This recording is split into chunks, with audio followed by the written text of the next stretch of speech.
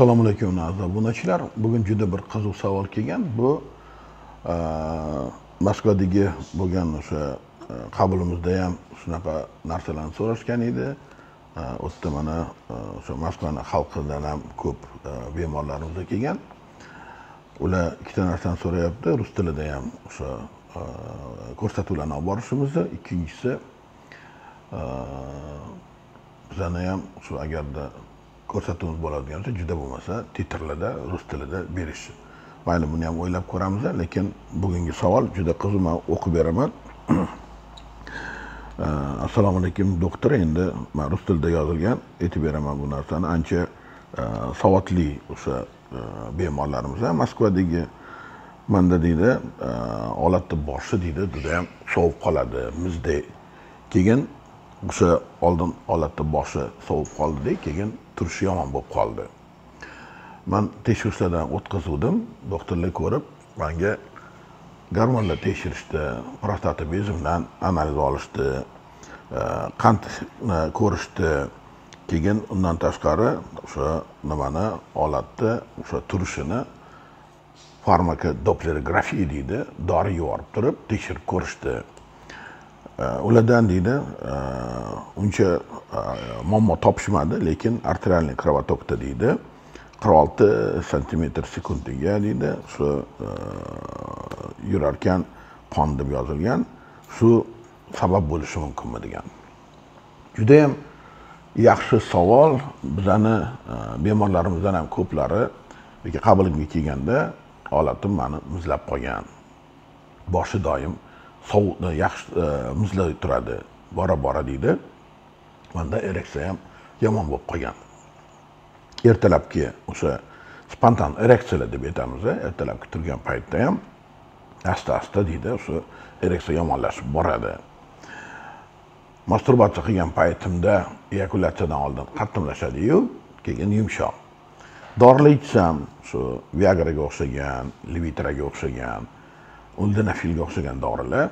Ozgina yaxshi bo'lgandek bo'ladi lekin qattimligi deydi o'sha e, siz ko'rsatgandek to'rtinchi darajada qattim bo'lmaydi degan.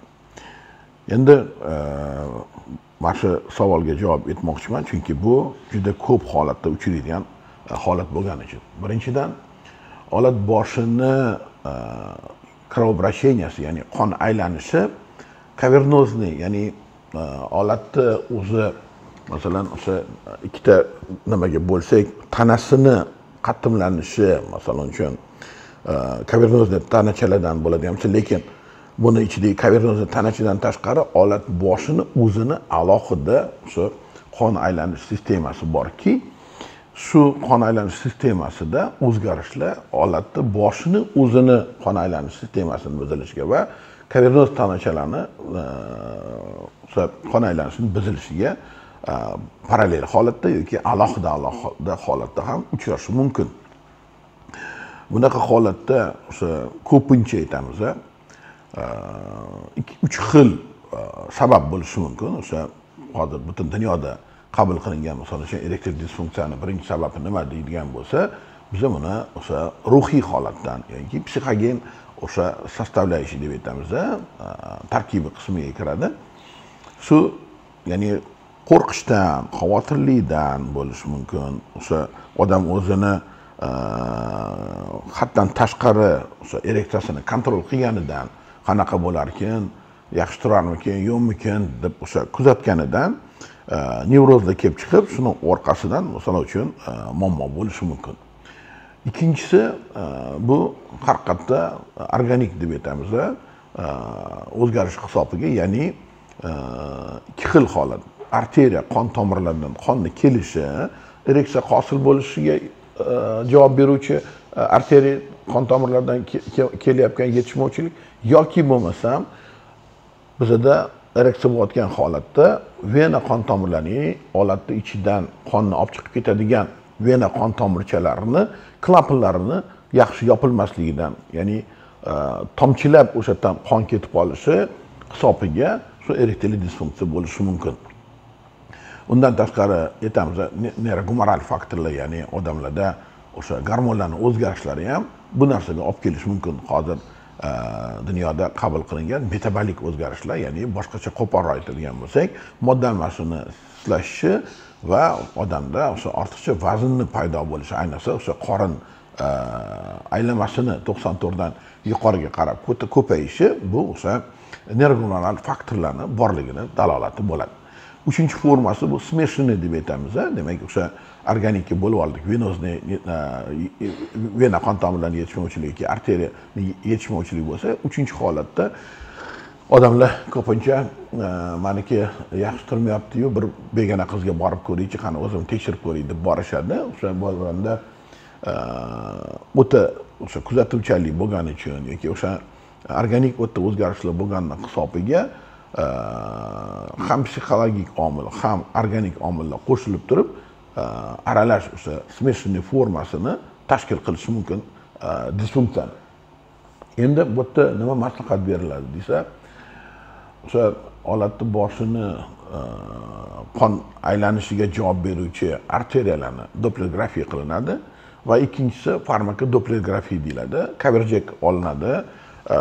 Inyeksiya qilib o'sha ikkita kavernozda tanachaga o'sha kaverjekdan inyeksiya qilib bitta ereksiya chaqiladida o'sha ereksiya chaqirilib maxsus o'sha ultra tovush bilan bu zamonaviy ekspert klass yoki premium klass ultra tovush apparatlarida maxsus o'sha nurli diagnostika vrachlari tomonidan yoki o'zida doktorlar tomonidan bajariladigan amaliyot bunga aniq diagnoz qo'yib beradi.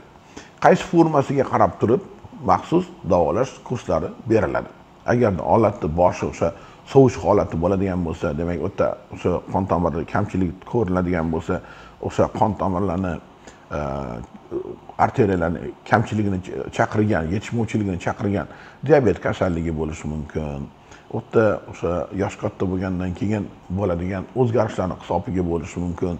Buni sabablari juda ko'p. O'shalar topiladi shunga qarab turib yordam beriladi agarda kavernoz tanachalaridagi o'sha yetishmovchilik bo'ladigan bo'lsa e, uni o'sha ikkita liniyasi bor. Birinchi liniya deb aytamiz o'sha e, ereksiyani yaxshilash uchun beriladigan dori darmonlar fizioterapevtik e, o'sha davolash metodlari qo'llaniladi.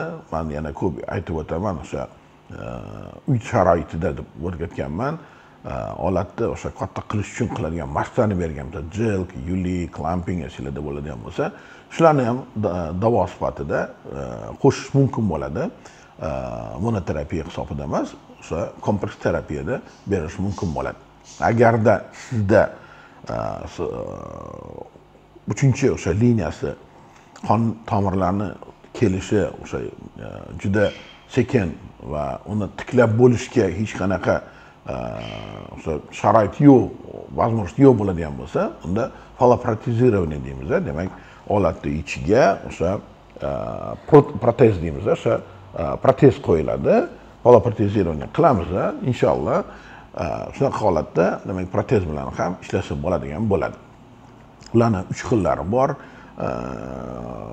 alohida o'sha kasallikni ahvoliga qarab turib qanaqa protez qo'yib uni operatsiya qildirib o'shaning o'sha yana e, o'zini ereksiyasini tiklash mumkin bo'ladi.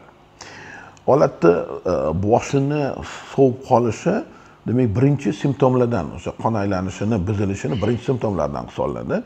Eng ko'p uchraydigan holat bu qandli diabet yoki o'sha metabolik o'zgarishlar bo'lgan erkaklarda bo'ladi. Metabolik o'zgarish bo'lgan erkaklarda o'sha gormonlarni kamayib ketishini insulinga bo'lgan o'sha e, rezistentni tushib ketib qolishi androgenlarga bo'lgan rezistentni tushib ketishi bilan birga keladi. Bular ikkalovi bir biriga juda bog'liq protsesslar bo'lgani uchun e, asosiy kasalliklarni metabolik o'sha e, holatlarni davolash juda yaxshi samara beradi. Demak sizda agar shunaqa holat bo'layotgan bo'lsa tezroq o'sha doktorga murojaat qilish kerak. O'sha murojaat qilinganda albatta boya aytganimizdek bizani o'sha vizual stimulyatsiya bilan o'sha lokalniy отрицательный давление deymiz pompa bilan birga oldin ko'rib olinadi. Keyin tumulitsensiyani o'lchaydigan maxsus apparatlarimiz bor. O'sha kechasi o'sha spontan ereksiya beradigan uyqu paytida beradigan ereksiyalarni ko'rib oladigan holatlarimiz borki bular sizda o'sha organik holatmi yoki o'sha e, psixogen holatmi uni ajratib beradi yoki o'sha aralash ikkalovini ham muammo bo'ladigan bo'lsa uni ko'rsatib beradi. Shunga qarab turib yaxshi mutaxassis bo'ladigan bo'lsa sizga o'sha davo liniyasini tanlab beradi. Birinchi liniyami ikkinchi liniyami uchinchi liniya bilan davolaydimi bu hammasi yaxshi yordam beradi. Eng e, ko'p uchraydigan holatlardan bittasi o'sha yoshlarimizda e, aytishadi manda ertalab turgan uyg'onganimda ereksiya bor spontanniy ereksiya lekin boshqa paytlar xohish bo'lganda boshqa qilganda turmaydi. Bundan qo'rqish kerak demak bu ko'proq psixogen bo'lib buni maxsus o'sha gipnologlar bilan birga o'sha maxsus seksolog vrachlar bilan birgalashib yoki o'sha seksopatolog vrachlarni qilgan maxsus seanslar orqali sizga o'zingizni boshqarishga o'rgatib bu narsadan chiqib ketish mumkin bo'ladi. O'ylaymanki bugungi bergan maslahati sizdagi o'sha muammolarni hal qilishga juda yaxshi yordam beradi. Kommentariyalarda o'zingizni bugungi bo'lgan o'sha suhbatimiz to'g'risidagi mulohazangizni qoldirishingizni iltimos qilib qolardim. Birdan o'ngacha bo'lgan o'sha ball bo'yicha. Keyingi ko'rsatuvlarni qilganda albatta buni hisobga olib sizga yana e, yangi yangi temalarni tayyorlashda e, bundan foydalanamiz. Xayr salomat bo'linglar.